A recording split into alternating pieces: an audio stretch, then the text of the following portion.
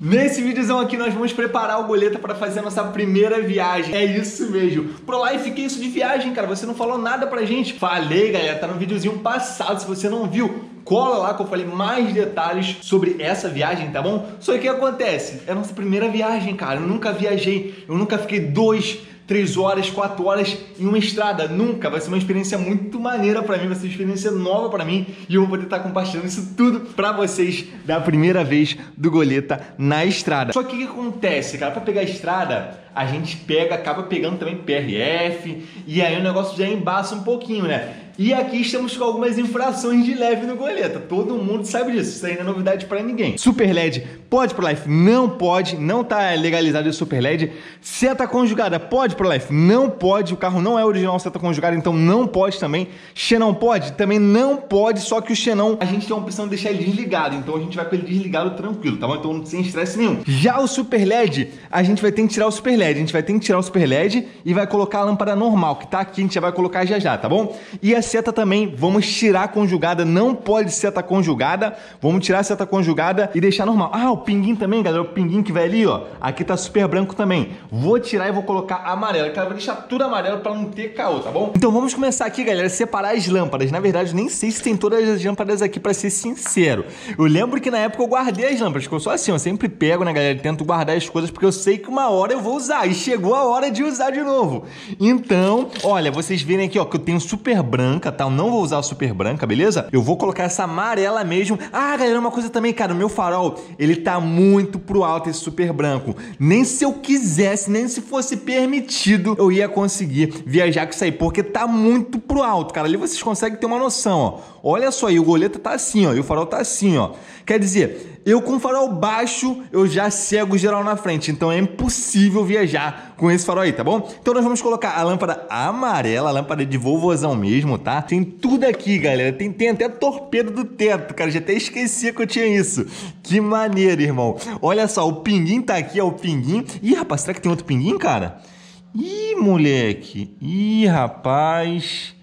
Caraca, irmão, não tem outro pinguinho. Ih, rapaziada, agora ferrou, hein? Não tô achando outro pinguinho, só achei um pinguinho aqui, ó. Quer dizer, eu vou ver o que eu faço. Qualquer coisa eu passo ali na autopeça ali, eu acho que tá aberto ainda hoje, né? E compro, tá bom? Vou colocando o que tem, então vamos agitando agora. Olha aí a imagem do goleta revoltado, cheio de infração. E daqui a pouco a gente volta com o goleta santinho, tá bom? Pronto para viajar daquele jeito. É, agora o goleta voltou a ser vovozão, né, galera? Aquela lâmpada amarela, seta já tá normal, não tá mais conjugada só tem agora mesmo que tá salvando é o Xenon ali embaixo. Mas o Xenon a gente consegue deixar ele desligado, então não vou tirar, né, galera? A gente vai deixar ele desligado na viagem que a gente vai fazer, tá bom? Agora, cara, a gente tem que resolver um problema. Que quem viu o vídeo do rolê que eu fiz um rolê com o goleiro tocando som, pá, se você não viu, vou deixar em cima, vê lá que tá muito maneiro. O que acontece? A gente colocar essa calota, só que eu coloquei essa calota do jeito errado, galera, eu não consigo calibrar o pneu com essa calota do jeito que eu coloquei. Enfim, o que nós vamos ter que fazer? Tirar a calota, tentar achar o lado certo, se não conseguir achar o lado certo, deixar sem calota, beleza?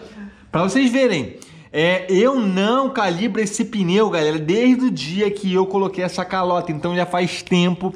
Pneu já tá murcho, como vocês estão vendo. Mas a gente vai resolver isso aí, tá? Vou resolver isso aqui agora. Ah, o que acontece? Deixa eu falar uma coisa pra vocês antes aqui. Eu não achei o pinguinho daqui, tá? Eu só achei um pinguinho mesmo que eu tinha mostrado pra vocês. Aqui, o daqui eu não achei. Então a gente vai ter que passar, vou ver se a gente vai passar em algum lugar pra comprar. Mas acho que eu não vou deixar pra fazer isso agora não. Faltam poucas horas pra gente ir pra viagem. E no próximo vídeo da viagem eu já vou passar lá, vou comprar essa lâmpada e vou colocar aqui, tá bom? Preciso comprar uma lâmpada de freio também, que uma minha tá queimada. Então preciso comprar essas duas lâmpadas.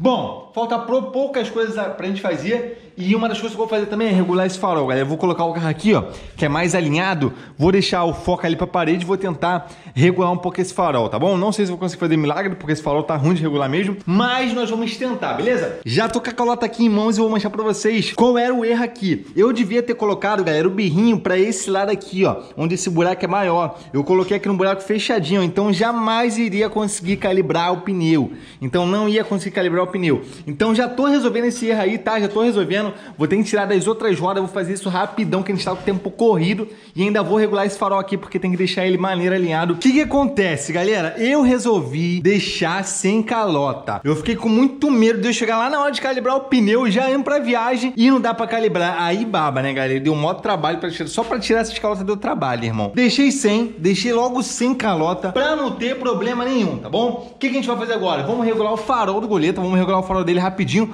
Vou colocar ele assim, ó, dar uma regulada nele rápido, coisa rápida, galera. E a gente vai partir. Última coisa que eu vou fazer também, cara, é conferir os níveis de óleo, água, essas paradas básicas aí. E vamos que vamos pra viagem com tudo, porque eu tô ansioso demais. Vai ser uma coisa muito sensacional. Vamos lá, o goleiro tá ficando quase pronto, quase pronto. Olha só como o farol tá. Eu não falei pra vocês que isso tá desregulado demais, cara. Olha isso, galera. Tá assim, mano, e tá pra cima demais. Aí eu jogo o farol alto, olha isso. Cara, tá horrível esse farol, galera. Eu vou tentar resolver ali. Vou tentar o melhor, deixar o melhor possível, porque esse farol ele tá ruim de regular mas vou fazer o melhor possível ali para tentar dar uma regulada. Enfim, é isso aí. Já já eu volto aí ver se, ver se vou conseguir resolver essa parada, né? Aí, galera, já tá bem melhor, cara. Já deixei bem melhor daquilo que tava, daquele lixo que tava, pelo amor de Deus. A galera vai perguntar pro Life como é que regula, cara. Eu coloco uma chave, eu coloco uma chave aqui nesse buraco que é específico para isso. E aqui embaixo você tem uma rodanazinha, ó. Esse aqui você mexe na altura, tá? Você sobe ou desce. Já esse que tem essa rodanazinha que tem aqui no canto, que você vai colocar a chave por aqui, ó. Tá vendo? Você vai mexer na pra lateral, na, no caso na horizontal que você vai mexer nela, tá bom? Para um lado ou para outro lado. Bom, galera, esse daí foi o melhor resultado que eu consegui achar, tá? Eu, ach, eu acho que deveria esse farol aqui deveria ficar mais um pouquinho para cá, mas eu não tô conseguindo fazer ele ficar mais para cá. Esse, a regulagem desse farol aqui, galera, tá zoado, tá bom? Não tá precisa. Eu olhei lá de dentro do carro e percebi que eu tinha que abaixar mais um pouquinho, galera, porque senão ia ficar muito na no espelho do cara da frente, né? Então, vou, vou mostrar para vocês aqui na prática. Ó, vou colocar a ferramenta aqui, ó, tá? E agora que eu vou abaixando, ó. Só ir virando, tá vendo lá, ó? Tá baixando, galera. É pouca coisa, é quase imperceptível, ainda mais por câmera, né? Mas ela tá baixando, galera. Não sei se vocês conseguem perceber aí, ó. Ela tá baixando bastante, ó. Tá vendo? Ficou bem mais baixinho, ó. Isso aí não vai fazer que não pegue no, na cara do motorista da frente, né? No retrovisor da frente. Bom, galera, a regulagem do farol foi essa. É, vamos ver lá de dentro, cara. Só pra finalizar, vamos ver lá de dentro como é que ficou. Se precisar, a gente abaixa mais um pouquinho também. Tá? A regulagem ficou desse jeito, cara. Eu achei que ficou muito boa. Só que na horizontal eu achei que ele podia puxar mais um pouco, mas eu não tô conseguindo puxar mais, tá bom? Esse é o baixo e esse é o alto. Show de bola? Fiz o que deu aqui em casa, né, galera? A gente tenta improvisar com as ferramentas que tem, não é mesmo? Bom, se precisar, se eu tiver na estrada e sentir a necessidade de regular, vou levar a chavinha, qualquer coisa eu paro ali no acostamento, dou uma reguladinha rápido e parto para viagem. Lembrando que isso aqui é infração, hein, galera? Isso aqui é infração. Não me lembro quantos pontos são, mas farol desregulado é infração, hein? É isso rapaziada. Esse foi o videozão. É, já tá tudo preparado para viagem. Ah, cara, vamos ver aqui rapidinho os litros, né? Se o óleo tá beleza, se o aditivo tá beleza também. Vamos confirmar aqui que é muito importante, né, galera? Vou levar até um aditivo, uma garrafinha de, uma garrafinha de aditivo pra viagem também, que é uma coisa importante, né, cara? Bom, meu fluido ali tá show de bola, tá? Meu fluido de arrefecimento tá maneirinho. É, deixa eu ver só o óleo aqui com vocês rapidinho, cara. Esse óleo, eu tenho com ele no carro há quatro meses mais ou menos. Está na validade, que a validade do óleo são seis meses, né? Ou 10 mil quilômetros. Está na validade, tá bom? Deve estar até branquinho ainda, ó. Ah, tá suave ainda, galera. Tá no nível, show de bola. Eu andei com o carro um pouquinho pra ajeitar ele aqui na garagem, aí o nível sobe um pouco. Bom, então é isso, galera. Tá tudo preparado pra nossa grande viagem. Cara, uma viagem que vai demorar umas 3, 4 horas.